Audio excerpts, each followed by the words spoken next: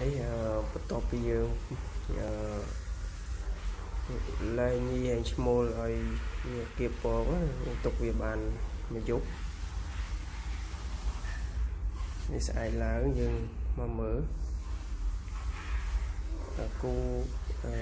fancy copper នេះអត់ទាន់ឃើញមានពងទេឃើញមានតែពពុះហើយ ឥឡូវយើងឃើញតែឈ្មោះនេះញីពួននៅក្រុមលឹកឆាត់នេះហើយ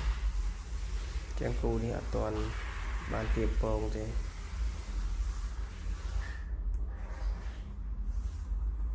នេះគូ Hellboy Hellboy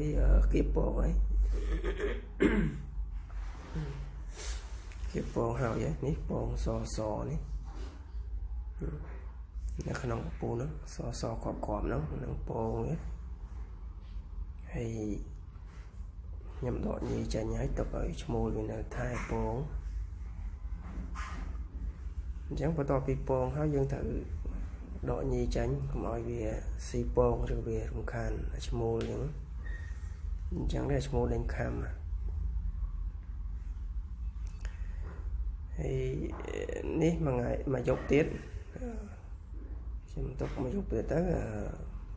fancy copper នេះពងដែរ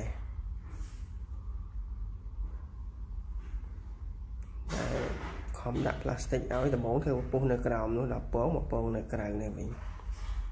មិនដែលវាអាចនឹងមូមូទៅកមពុះអឺផ្លាស្ទិកវិញ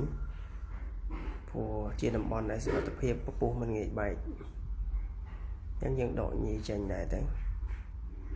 នេះឈ្មោះ Hellboy កំពុងតែថែពងវាហ្នឹងនេះឃើញពពុះវាមូ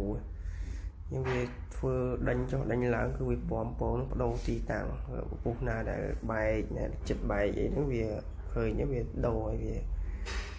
ខ្លាច់បែកធ្លាក់ទៅពងពងធ្លាក់ទៅក្រោមអញ្ចឹងវាប្រវាក់ពំប្រវាក់អីអញ្ចឹងវាហត់ដែរហើយណាមួយវាអត់សូវសុវត្ថិភាពនេះថ្ងៃបន្ទាប់ ចូលដល់ថ្ងៃទី3ហើយថ្ងៃទី3ហ្នឹងអឺវាថៃកូនថៃចាប់ដើមញាស់ហើយ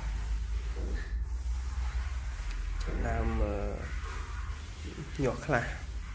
នៅពងខ្លះវាអត់ទាន់ញាស់ហើយចឹងវាញាស់ដើមដើមវាតែមានមុនក្រោយ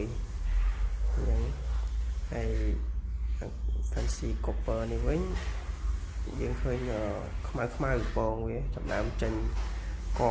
កជាកូនណាអញ្ចឹងវាក្រោយនោះបន្តិចក្រោយមួយថ្ងៃតែឃើញក្នុងពងនេះខ្មៅខ្មៅនេះគឺភ្នែកវាណាចាប់ដើមកកើតដែរអញ្ចឹងក៏វាចិត្តញាស់ដែរនេះពេលបាយទៅយើងឃើញឃើញនៅក្នុងពងណាមានខ្មៅខ្មៅហ្នឹងក៏ភ្នែកវាអញ្ចឹងវាចាប់ដើមញាស់ដែរហើយ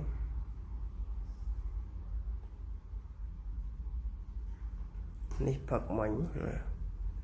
ផឹកថ្ងៃទី9ខែ12កូនញាស់ហើយវាចាប់ដើមមានហែទឹកហើយហែអត់តន់ត្រង់ទេវាទឹកញាស់អញ្ចឹងយើងហែហែធ្លាក់ទៅក្រោមអញ្ចឹងទៅងើបមកវិញមានអាខ្លះទៅមេទៅទៅជួយពំមក សបុកនេះក៏ដូចគ្នាសបុកនេះរៀងគ្រាន់បើជាងងាប់បានច្រើនខ្មៅច្រើនហើយហែលទឹកច្រើនពេញហ្នឹងអញ្ចឹងហើយឈ្មោលវាវាពំពំមកកូនណាដែលហែទៅឆ្ងាយឆ្ងាយហ្នឹងយកមកដាក់នៅក្រោមពពុះវានឹងវិញឲ្យតោងនៅក្រោមពពុះហ្នឹងអញ្ចឹងយើងដាក់ឈ្មោលនៅថែជាមួយវាហ្នឹងនៅថែមើលថែកូនហ្នឹងឲ្យបានមួយទឹកឬក៏10ថ្ងៃទៅចាំយើងដកវាចេញ